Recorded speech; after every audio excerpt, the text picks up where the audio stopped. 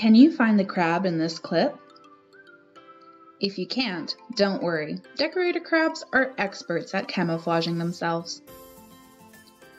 Decorator crabs are a group of spider crabs that get their name because of the camouflaging behavior that they have. While different species all decorate in different ways, each one makes use of algae or other living organisms by attaching them to their bodies. In the Salish Sea, we have multiple species of decorator crab. The three we will see today are the graceful decorator crab, the short-nosed decorator crab, and the kelp crab. How do decorator crabs decorate? When you look closely at the graceful decorator crab and short-nosed decorator crab, you can see there are lots of tiny hairs, or setae. These are hooked Velcro-like structures that the crab uses to hook pieces of algae onto their body. Sensory setae also line the legs of decorator crabs, helping them sense their world around them. Using their pincers, or chelae, they pinch off pieces of sponge, algae, hydroids, or other decorations. Then they explore it and shape it with their mouths before reaching behind to hook the decoration onto their setae. The kelp crab doesn't decorate nearly as much as other species of decorator crab, and in fact their shells are smooth, However, some kelp crabs will decorate their rostrum, or the nose space between their eyes, with pieces of algae they will want to eat later. Why do they decorate? There are a couple of reasons. The first is camouflage. Trying to find decorator crab that is covered in pieces of algae is difficult to do, and scientists have long hypothesized that visual camouflage was the primary reason for the crab's decorations. However, some research indicates that decorator crabs may be more interested in the texture of the algae. As one of the primary predators, the octopus hunts primarily with touch.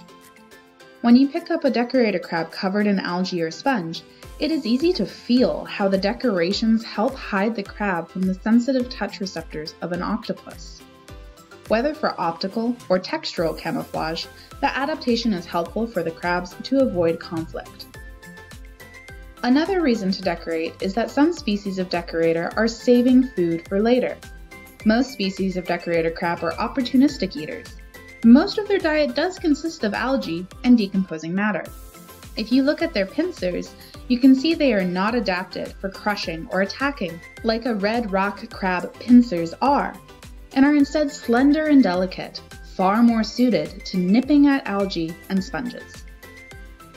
Decorator crabs molt when they grow. Their hard exoskeleton is great protection, but when they grow too big for it, they must shed the exoskeleton and grow a new one. Depending on the amount of food they have access to, decorator crabs can molt mm, two or three times a year. During this process, the crab will squeeze out the back of their shell, leaving behind a limp, dead looking shell that you may find on the beach at low tide and mistake for a dead crab. In reality, the only thing left of the crab in their old shell is their gills, which they regrow after molting. Molting is a dangerous process because when the crab is finished, they are soft and vulnerable to predators. It's usually best for them to find a protected spot to molt, and they are generally more active at night, so don't be surprised if you never actually see them doing it. Crabs mate using internal fertilization, not broadcast spawning like many of their fellow invertebrates. That means that a male crab and a female crab have to find one another. The female crab will carry her fertilized eggs until they hatch, making sure the tightly packed bundles have enough oxygen and stay protected from predators. When ready, the baby crabs, known as zoe, hatch and start living their lives as plankton, floating in the ocean currents and in most cases being carried away from their parents. The little zoe feed off phytoplankton, growing and developing until they become large enough to settle onto the ocean floor. When you are at the beach, you are unlikely to see decorator crabs because they tend to live in slightly deeper water. However, there are many species of shore crab that can be found under rocks and in tide pools that if you are very still and gentle, you will be able to observe.